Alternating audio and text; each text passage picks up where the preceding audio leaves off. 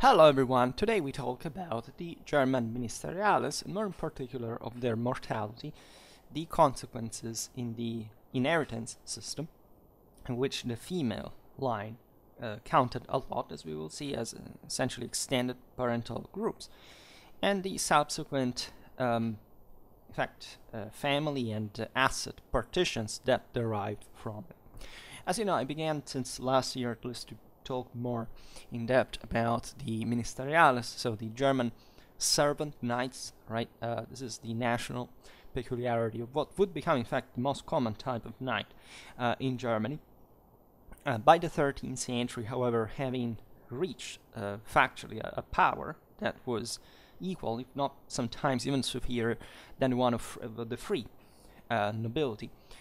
Uh, and we will keep talking about this more in general. Today we just look at this specific aspects. The ministeriales, um, and especially, you know, in the 14th century, they really disappear, right? Their um, juridical divide is evidently not um, a real one anymore, and so the distinction dies out.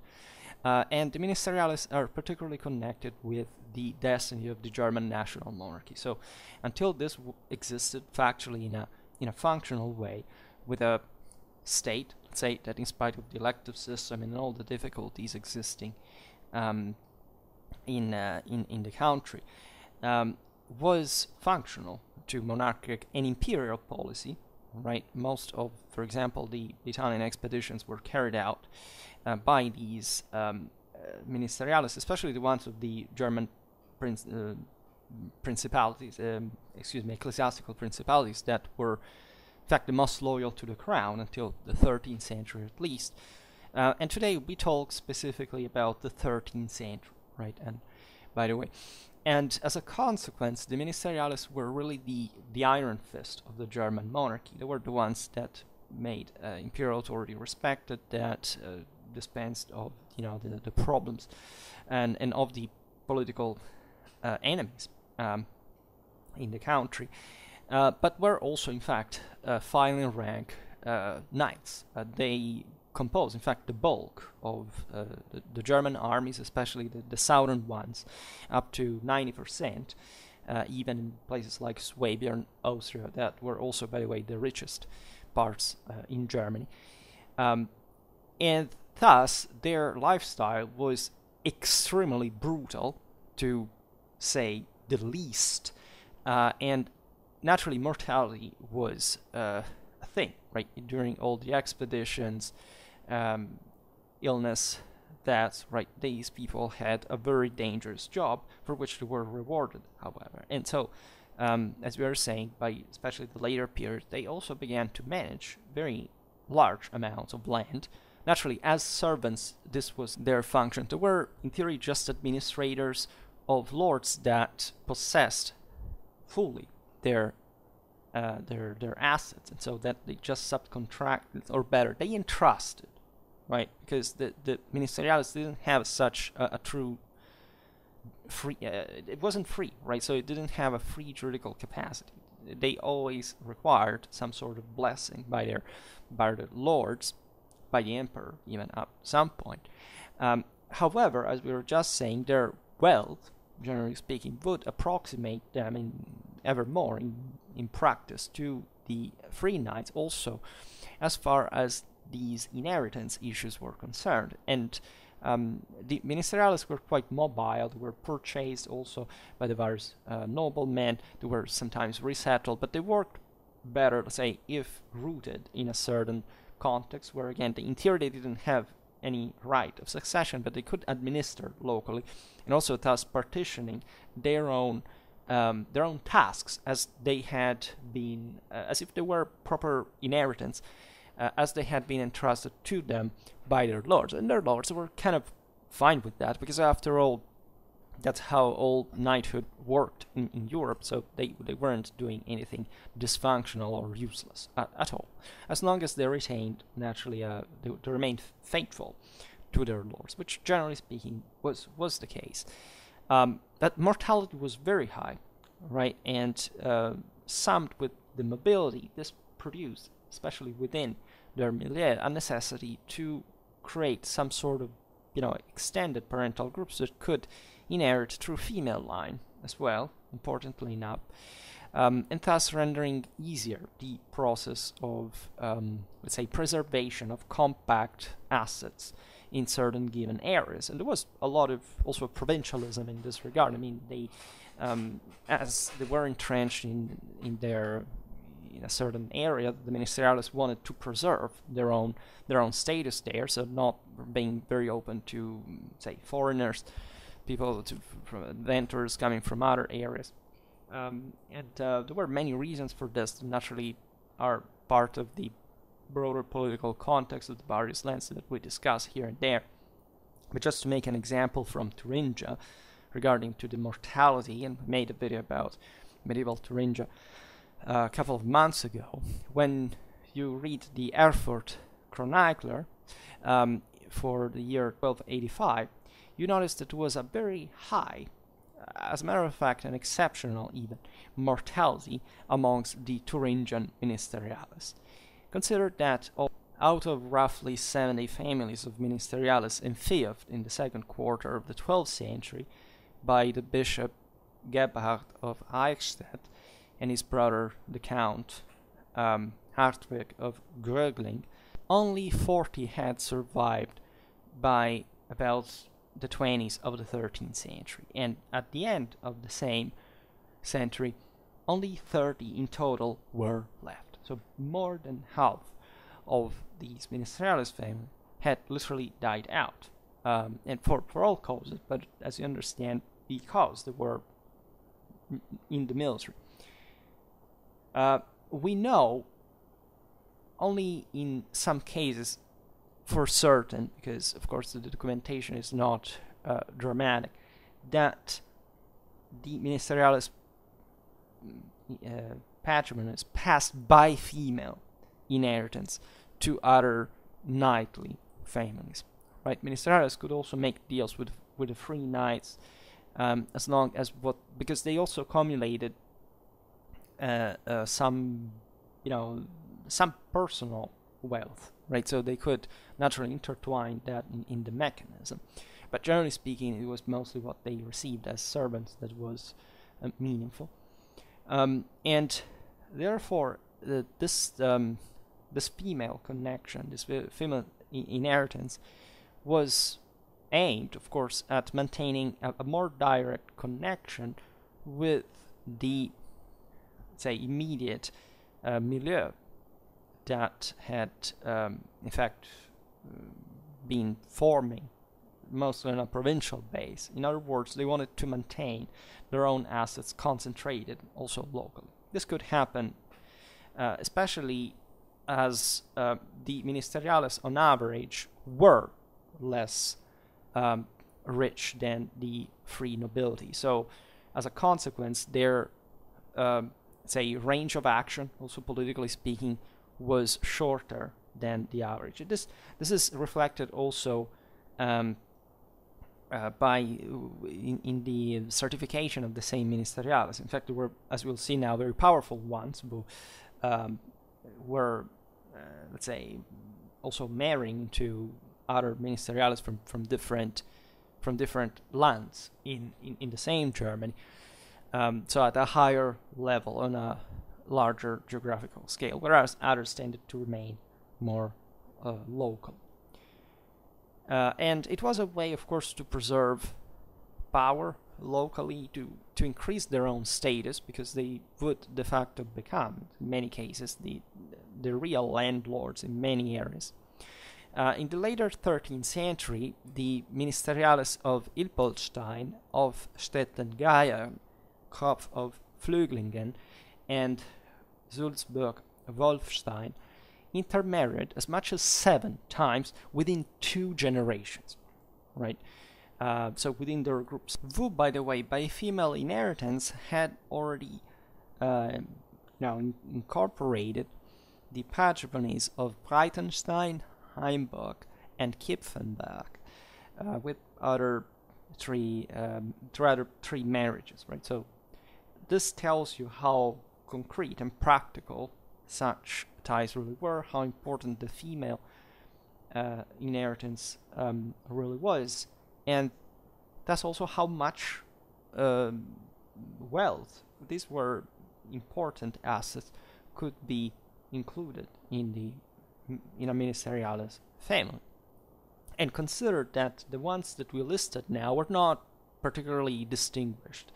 Um, there were their neighbors, for example, were instead the, the imperial marshals of Pappenheim uh, and the ministeriales of Königstein, who are the aforementioned type that married uh, further afield um, in Swabia and Franconia um, with, uh, with other families of imperial household officers that were ministeriales, and that's how important they really were in the empire. Uh, we're talking about, for example, the butlers of Schupf Klingenberg and the chamberlains of Münzenberg. So, as long as good, uh, you know, wives, uh, heiresses specifically, could be found, um, as a consequence, male primogeniture or even the descent of family possessions in the male line was not so important actually among the ministerialis families. And th- this is really interesting because you understand this this is kind of more of a clanic structure than kind of a um, a lineage one. Of course, th- the latter still existed. There was a lot of kind of feudal practices kicking in, especially by the 13th century, and so male primogeniture was becoming important. But um, aside from a few times where properly the right of eldest sons to fiefs and offices was made explicit in, um, in these agreements, in these contracts, in uh, testaments, etc. But even in the marriages, uh, it was still exceptional. It was, for example, the case of the military fiefs held from the See of Cologne for the fiefs of uh, the Ahr Castle, and for the household offices of Benedict Boyan, Abbey, and the See of Salzburg. So you understand the important patrimonies. Naturally, you have to realize that not all these assets were connected to the military performance, but it didn't matter because these were broader landowners, right? And so they, they played with these assets as, as these practices allowed them uh, to do. Uh, we know also that among the Tecklenburg ministeriales, the family castle would pass to the youngest son.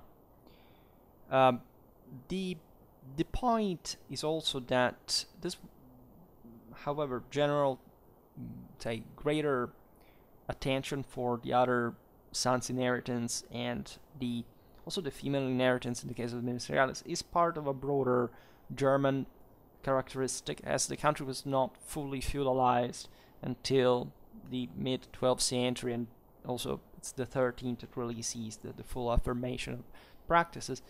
But uh, until early modern times, you really see that Germany has a different wealth distribution. Some areas are just um, uh, less, uh, they have less surplus. So in practice, uh, it was easier for the various sons to still claim their own part of the inheritance. I mean, this is the entire thing that started since of the Franks and and all the other peoples that you know, as the Romans and the Germans considered, uh, uh, of course, an equal repartition among the sons the normal inheritance mechanism. Uh, and so uh, this was essentially a limit in part because it would allow less state building on the long run, and that's the same reason why, at the end of the day, the monarchy disgregated in a national sense. But the um, at, at the same time, uh, they they also reflected the necessity, in fact, of uh, of such practice remaining in force because had you know just the, the firstborn son or the eldest son monopolized the uh, you know the inheritance uh, the other he would have not been so powerful enough to, to counter the the demands of the other um, of the other heirs in general because by the way there weren't har- there were hardly just only the, the brothers there it was always a mess because there's a, a, a you know a feudal force literally of incredibly intertwined interests with everybody involved. We already made videos about the ministeriales and explained the all the nuisances. I mean, for example, the contempt from the side of the free nobility against them, so that they treated them as kind of s- still se- even, even though you know they they were sometimes protected by and, and exactly because of that by the empire that the, nobility didn't accept this because they were considered lesser um, lesser people. In fact they were just servants right? So in, in their view that this this was um, in, in the free nobility view, this was a, kind of a challenge to their to their power, given that ministeriales, as we were saying before, were also quite uh, you know effectively violent, um, and they knew how to defend their own prerogatives. Um, so, uh, primogeniture was never uh, recommended itself uh, in Germany as a preponderant legal principle, and this is valid in Germany for also the medieval landed families, whether territorial magnates, free lords, uh, or in fact knightly ministeriales, who were more inclined to distribute more equally their, their possessions among and titles uh, to, to, to the various sons. Uh, in the 13th century, the imperial butlers of Schupf founded new and separate lordships at Limburg, Klingenberg, and Neukastel. Um, and so did their imperial advocates of Weida at Gera, Plauen, and Greiz. Um, this naturally reflects what we just said. It means that uh, even within the ministeriales families, there were um, different knights doing different things. And so, uh, even though, as we've seen, there was a, a clanic compaction, still there was an autonomy um, that allowed different heirs to invest uh, differently and uh, thus creating different centers of power that could be also in competition with, with one another. Uh, the imperial seneschal in, in uh, Saxony, Gunzelin of Wolfenbüttel, whose chief residence was his Hildesheim fief of Peine castle, built new castles for his sons and grandsons at Asseburg, Staufenburg, and Heiningen. And their descendants, in fact, would build or inherit or in, were inferred with yet more castles endowed with appurtenances at Hindenburg, Morgingen, Salza, and Lechede. This shows fundamentally that the ministeriales pursued the same exact patrimonial uh, objectives of the free knights and even monarchs, the same emperor. That's what essentially had made every single German dynasty rise into power. Otto I had owed his empire to his father Henry the Fowler's uh, in Saxon. Much can be said also for the Franconians. Um, Frederick Barbarossa owed his imperial crown, among other things, but the deep uh, in Swabia that his father carried out after he was blind and thus had become physically unfit for competing uh, to, to the monarchy.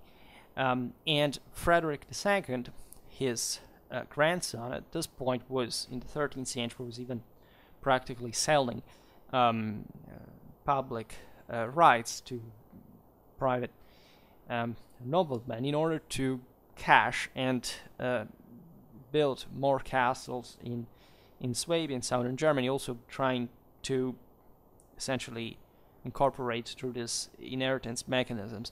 For example, great thieves, um, great seigneuries like the one of the Babenberg in, in Austria, and and so the ministeriales, while playing again a smaller scale game, but still contributed dramatically to the development of the so-called princely Germany, as they were practically privatizing in their own way and increasing ever more power. The 13th century was still a moment essentially of growth uh, of Europe till the end, and especially in countries like Germany, this was quite um, staunch.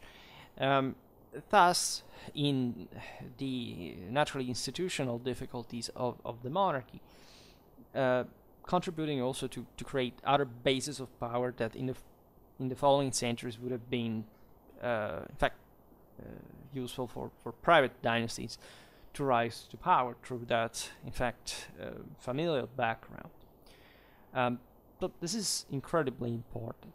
The affluent imperial seneschals uh, in the Rhineland, the, the most uh, developed areas in Germany, essentially the west and the south, made comparable divisions of their possessions into, uh, for example, the lordships of Bolanden, Falkenstein, and Hohenfels um, in the early 13th century. Later on, Philip of Falkenstein um, and his sons showed that subdivision could safely be made, right? Uh, and especially on the strength of the lavish inheritance brought in by Philip's wife, Isengard of Münzenberg. Uh, that Philip was already rich on his own, but his marriage with Isengard really secured the future of his line as significant territorial lords. Um, and as we've seen before, uh, the imperial ministeriales of Münzenberg, so being an imperial ministerialis, not just a, a random uh, nobleman guy, was was quite uh, you know quite an advantage in many ways, uh, had been founded on um, this uh, combination of patrimonies um, in Arnsberg, Bilstein, and Hagen. Um, and um, it was fueled further, actually, with fresh imperial land grants during the 12th century, because this was the way for, for the emperors to boost quite loyal supporters, and which better supporter is the one that is not free but bound to you, and that's the logic of the ministerialis in an area like Germany, to strengthen their power landed power further. So what happened in the 13th century was that Kuno of Hagen, that had built the Münzenberg castle as his principal residence and aggrandized his power, um, was um, um, was to see his line resolved into heiresses. And that's where Philip of Falkenstein and Isengard of Münzenberg um, now becoming Falkenstein's secured the lion's share. Right, the female connection, fundamental. Uh, Philip was confirmed, in fact, in what in is his father-in-law's office, of imperial chamberlain as well in the process, with its extensive fiefs connected to it, and also in the lordship of Königstein, which was a fief from the counts of Nassau. So you see the double, the ministerialis office, and from an imperial and also another uh, set free noble side. In this process, Philip was also able to exclude or buy out the claims of more distant heirs that existed, that always had something to complain about because uh, again i can't stress enough the incredible complication of these connections. I'm making it very very simple but it was plenty of different heirs for also actually very far away places geographically. Um, for example you know there were the, the imperial marshals of pappenheim the ministeriales of weinsberg and schönberg. Um, this marriage with isengard really brought the full confirmation, let's say, on, on, on the longer run, of uh, Philip's rights, right? Again, via female line, right? So a fair proportion, however, passed still to um, to other heiresses in, in, in this mechanism. Uh, for example, Adelheid of Münzenberg, who married a free lord. This is also interesting. Reinhard of Hanau, who thus could cash as a as a nobleman, simply you know also the uh, this this properties from a ministerialis family, right? This tells you how really lat- how important the latter really were. Um, yet Philip still got the better them as well after long uh, quarrels and and even occupying uh, militarily all the principal castles of the former it was known as the former dominion of Münzenberg that is Assenheim Hagen, that is today's Dreieichenhain, and Münzenberg itself. So this tells you also why the mortality was high in the process, because naturally it was other wars.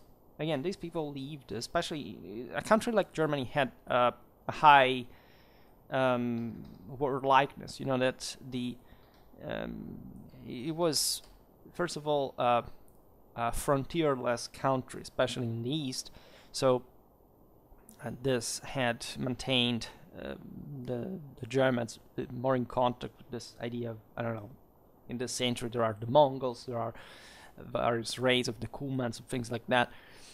Um, so the aptness to war is kind of from individual point of view kind of greater. This mercenaries, uh, this, this, knights eventually would, uh, the Ministerialis family is declining during the time of princely Germany would sell their services abroad, famously not, um, and putting their military skills, at, you know, to, to, very good use. Like uh, in, the, in, the, Italian uh, signories, for example, they, they were basically the bulk of local armies. At some point, they literally took over Scandinavia at a point um, as essentially controllers of the uh, more the weaker Scandinavian uh, institutional systems. Um, so there's always a, a, history of that, and it, it, derives from this continuous meat grinder that, as we've seen, could wipe out the majority of ministerialis families in a, in a certain era, like Thuringia, uh, in essentially not even a couple hundred hundred years. And we're talking about the families, by the way, so not just again individual lines. And this is the point we were making. So this means that mortality was very high, literally among the everyone, the, the brothers, um, and this this makes you think really. Um, consider that as serfs they also couldn't be else like this was not like for the free nobility that they could become i don't know mm, clergy or something like that. These were all involved in, in the military affair. So philip of falkenstein um, uh, securing such enormous assets decided in 1263 to divide them um, between their his sons, Philip and Werner. Um, and although the details were changed um, several times in the following years, shows the importance of these mechanisms and the nuisances that they entailed. Uh, this shows what was pretty much the regular practice in the in, in the process. Um, in time, the younger Philip's chief residents were Falkenstein, the imperial castles of Trifels, and of um, and Kaub, which he converted into a fief from the Counts Palatine of the Rhine in 1277. Um, this this is relevant because you realize we are at the end of the 13th century. It's a very tumultuous moment.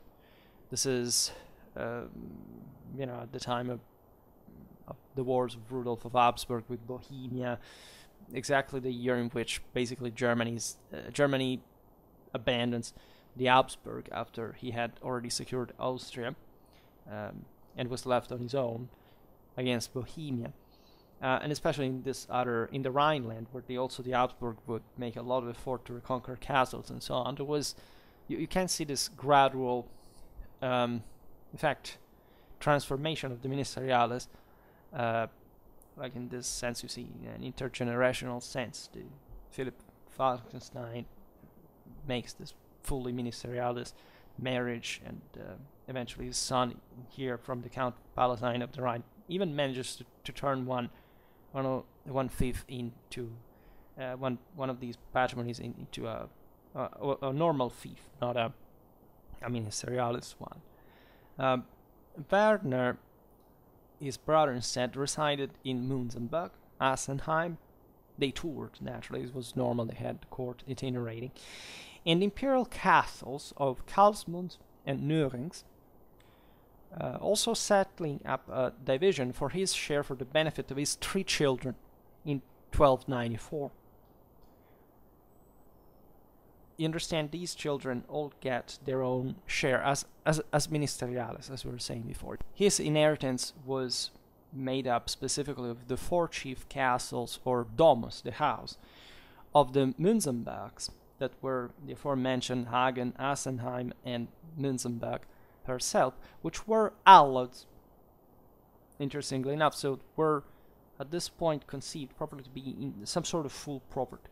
Although the manors appurtenant were still imperial fiefs, right? And as such, uh, for example, the Königstein was uh, a fief of Nassau, as we were saying before. So you see, very interestingly, the, the idea, you know, the, at this point we are, even after the Great Interregnum, the imperial authority is, is liquefying.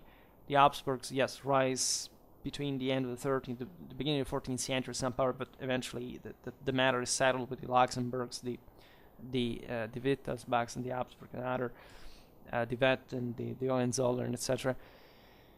Um, and in the uh, in the process, what was the meaning of the fact that these possessions were de facto public property because they were imperial assets held in allod. So what the hell does it mean? And these were originally just servants. It means that by the end of the 13th century, they had become essentially landlords like all the others right? And that was hardly anyone there deciding much. Of course, the imperial authority in part still functioned. There were rules were still played by by the various princes, by the by the by the king of the Romans, by the emperor that was re-elected after the even not dramatically long parenthesis of the interregnum, but that had with the, with the latter still fundamentally undermining this broader order that the monarchy had tried in terms of public uh, administration to, to keep alive. At this point, it was just properly um, just private power that was making the thing. Um, and speaking of the original Falkenstein patrimony, uh, this was also subdivided, um, for example, with the Bolanden inheritance passing down to the elder line. And the uh, matrilinear acquisition, uh, that is Münzenberg with its uh, previous Hagen Arnsburg bases, um, somewhat uh, depleted uh, by the dynasty of the free dynasty by the way of Hanau that passed to the younger son. So this is um, this is interesting because it shows also how um, the you know there, there were there were uh, new new markets that were opening, new opportunities, new new mechanics that were opening at, at this point that as as we were saying were quite different from from the previous ones and so that um, um, that distinction between the, the ministeriales and the free knights were fundamentally uh, dying out. Uh, but this is quite interesting because it shows you how really everybody was doing their best to survive in this mess that was also a pretty bloody one, as you noticed. And in general, how in times before the contemporary era in general, um, the um, the real power was measured on a local basis. The same in ministeriales had been born uh, with, uh, actually not probably born with that function because they have a very long story, but they had acquired that, right, landlords, uh, unavoidably, at, uh, uh, especially because of the massive uh, assets that the emperors endowed them with, right, and once given, like it was not dramatically different from the the other um, free uh, the, the, relation between the the emperor and the, the the other free vassals. Well, you could hardly think you could get them back, especially if these people were so loyal that it would have been, you know, counterproductive, actually harmful to try to get them back because it's on that base that you really had their own loyalty. Uh, and uh, aside from their their servitude, which could not be autonomously changed, if not again in, in the absence of rules. So when the princely phase kicks in, and so Germany is starting to be built, actually with the in fact the, the, the creation of some local states that as you know did, wouldn't make it to reunify the country until the 19th century but that um, still were functional locally right and fit in this broader phase of say crisis post crisis late medieval Europe that as we've seen also in these in the various um, historical regions series is, is a bit the same all over Europe right? There's this great growth and uh, we witness here during up to the 13th century and with the apex in, in the same of uh, important private and real power real assets consolidation uh, and then a crisis uh, in the following century that contracts everything especially from a demographic and economic point of view. And so with a sort of re-entrenchment and refeudalization of the system in the process of you know given that in high medieval times there had been some statal achievement that was not reached at this point, um, if not on a much more private base. That, however, is also how the original state in high medieval times had been created. So you see, there are different cycles at the same time, and these are just little, you know, examples. There are lots of other ministeriales. We can see them. Uh, at other points, However, for today I stop it here. I just hope that you enjoyed this video. If you did, please share it. Otherwise, do a like or subscribe to my channel if you're interested in my upcoming content. And for now, I thank you heartily for listening to me. I wish you a nice time and see you next time. Bye.